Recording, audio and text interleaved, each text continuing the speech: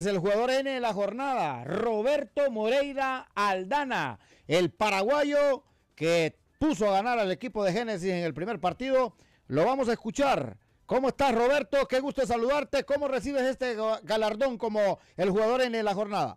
No, muy contento, muy contento en lo personal porque uno trabaja eh, día a día para, para estar en, un buen rendimiento y bueno, creo que el equipo también es, parte de esto, es, parte de siempre que, que, uno pueda rendir al máximo en lo personal, así que muy contento que el equipo también esté por, por buen camino. Cinco goles en el torneo, este el punto penal, será uno de los más importantes, Roberto, por lo que significa en un repechaje y un pase posible a una semifinal. Sí, yo creo que sí acá en Génesis creo que estamos trabajando para eso, eh, ya que entramos a la liguilla, uno se ilusiona, se ilusiona y, bueno, estos partidos son decisivos, son decisivos donde uno tiene que golpear primeramente de local y nosotros hoy hicimos, eh, sabemos que tenemos un resultado de, la, de una mínima diferencia, pero, pero bueno, hay que hacer valer ese, ese resultado y, seguramente que con inteligencia eh, podemos sacar adelante el partido del domingo, pero sí, muy contento por, por el gol. No sé si tienes este dato, Roberto, llegaste a 82 goles en el fútbol hondureño y alcanzaste